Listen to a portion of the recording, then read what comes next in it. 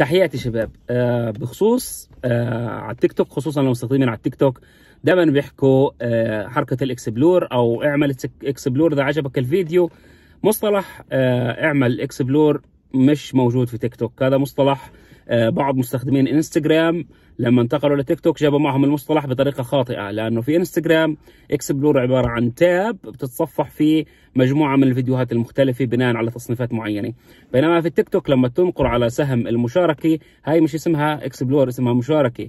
آه بمجرد أنت ما تنقر على السهم على السهم الموجود وتختار أي تصنيف خوارزمية التيك توك بتعمل shortener لل URL الخاص بالفيديو أو لرابط الفيديو يعني عشان إنها تقصره بدل ما هو رابط طويل بتقصره لرابط صغير. فبالتالي الخوارزمية بتحكي له بتسجل إنه هذا الفيديو عليه إقبال مشاهدات عالي فبصير يظهر عند نسبة أكبر من المشاهدين.